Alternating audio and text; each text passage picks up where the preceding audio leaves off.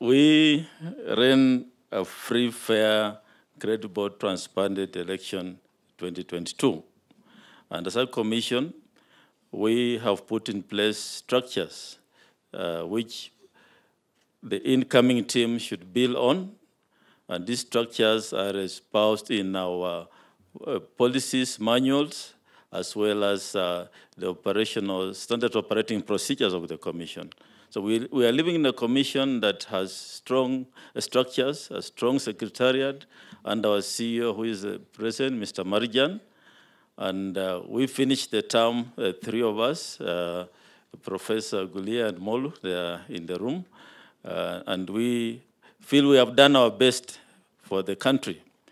And uh, we believe that uh, the incoming team should pick up from where we have left it and uh, take us to the next level. So, Your Excellency, I wish to hand you over the exit report, our post-election evaluation report, as well as the other documents uh, which uh, have been used by the Commission uh, to manage the corporate governance issues.